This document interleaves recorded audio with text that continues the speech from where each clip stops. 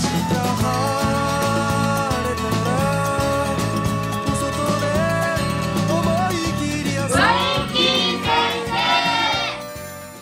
YouTube の皆さん、エバーグリーンのご力松本力也でございます。本日もよろしくお願いします。今日はですね、支援学級、小学校のケースなんですけど、支援学級への転籍、それにあたって面談があると準備すべきことはありますか？というご相談です。支援学級への転籍、その面談のそうそうたるメンバーにひるんでいますというね、お母さんからの LINE がありまして、面談にあたってね、何か準備すべきことはありますか？っていうご相談です。ご相談を読んでいきます。子供とは何度も話し合いをして、ようやく今朝、教育委員会への転籍の意向を伝え、手続きを進めていただくことにしましたと。次のステップとして、校長、担任、支援級主任、教育委員会担当者2名、保護者での面談があります。すごいスピードで済みます。驚いています。こちらからの返事をギリギリまで待ってくれていたんだなと感じますと。そして、そうそうたるメンバーにひるんでいます。子供の様子を少し聞かせていただきますと言われましたが、何か準備すべきことはありますか？校長と面談できるチャンスなんてそうそうないので、何を伝えるべきか悩みます。こちらの希望を伝えるというより、まずは子供の今の状態を正確に伝えることに注力すべきですか？と。いつもいつも重い相談ばかりですいません。よろしくお願いします。ということです。回答なんですけども、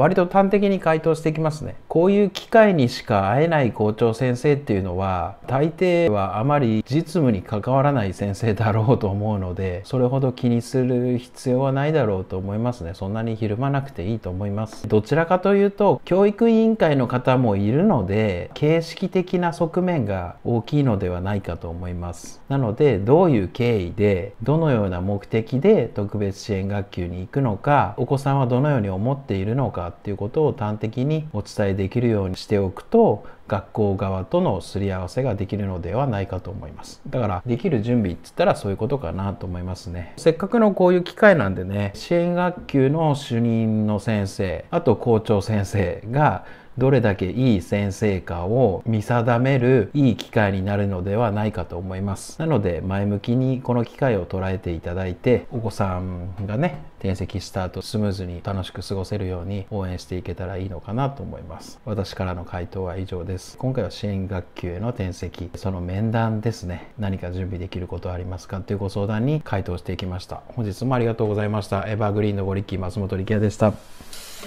最後までご視聴いただきありがとうございます。動画をちょっとでもいいなって思ってくださったらぜひチャンネル登録をお願いします。これからも皆さんのお役に立てるように動画配信を頑張っていきます。また次の動画でお会いしましょう。ありがとうございました。